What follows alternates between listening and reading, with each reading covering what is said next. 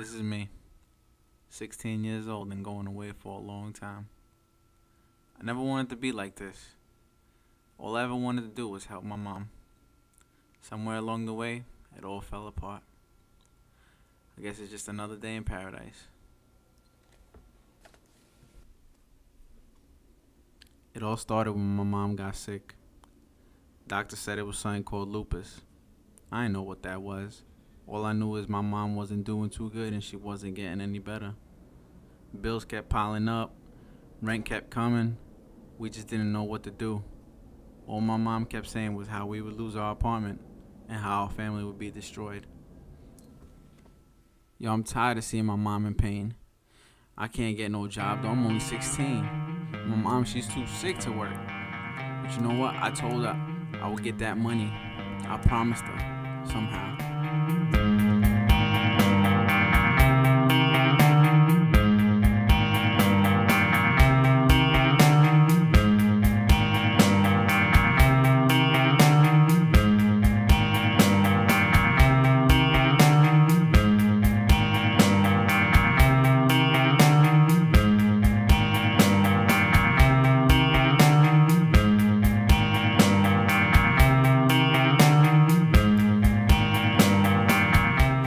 Damn.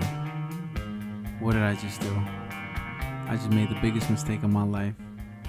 I told everybody not to move. All I wanted was the money. To be honest, I was just as scared as they were.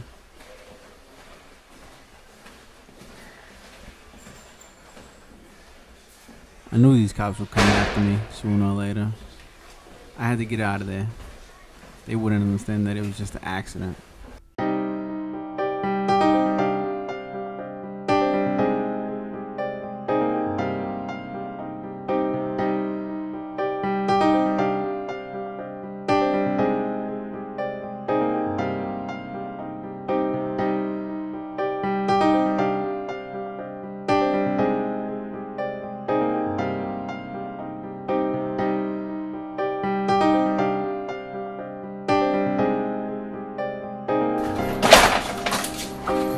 Yo, Trey! I went to the only place I knew I might be safe. That was Trey's house. He was an old Mac from way back. He was strange though. He wore a cape and had golf clubs, but I bet he never played a hole in his life. Yo, Trey. Yo, I'm in a lot of trouble, man. Yeah, I told him how I robbed the store to get money from my mom's, but I accidentally shot somebody, and I knew the cops would be looking for me. Come on, man. I demand an explanation for these shenanigans, baby. What you got to say about that? What if them cops come on, baby? Oh, man, ba- baby. He shouldn't have hit me like that, but you know what? Aside, he said he would let me stay here. Good evening, man. Good evening. You know where we can find your son? No, he's not here.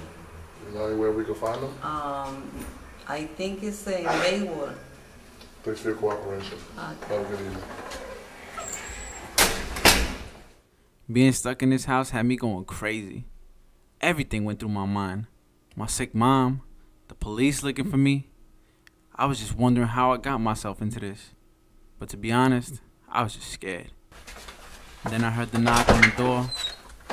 Good evening, I knew it was over. Have you seen this man? Uh, what's this? Nah, nah, nah. Wrong house, man. Maybe down the block or something now. Hold on a second.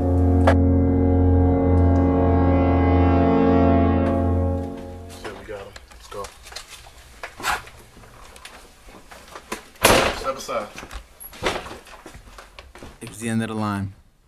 I made my choice. And now I have to live with it. What hurts the most though is that I let my mom down. I tried my hardest to help her, but I just couldn't handle the situation I was put in.